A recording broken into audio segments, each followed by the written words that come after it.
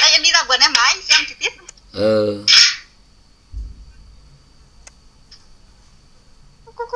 Nó cứ làm thì tan ngoài đấy Đấy. Đấy. Nó bạo lắm anh ạ. Ờ Đấy. Đấy. Anh trông chưa? Đấy. Nhìn, nhìn rõ rồi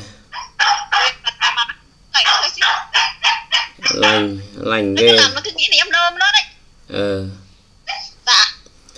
thế là địa chỉ ở đấy là ở đâu Đấy. Dạ. địa chỉ ở đấy là ở đâu Ở...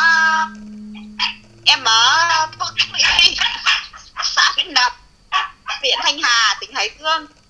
ừ Nhà em dễ tìm không đi mà. Nói chậm lại ra nào nói chậm lại ra nào? Dạ. địa chỉ nào em nói chậm? Thôn ờ. Thôn Tú Y, xã Vĩnh Đập, ừ. Huyện Thanh Hà, ừ. Tỉnh Hải Dương. ừ.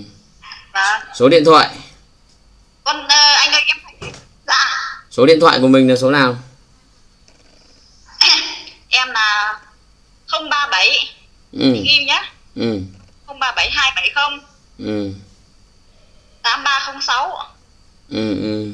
Ừ, có 20 con à? Vâng ạ em có 20 con. Rồi ok ok. Dạ vâng. Vì một con nhỏ nhỏ thôi còn 19 con đều nhau lắm anh ạ. Ờ ok ok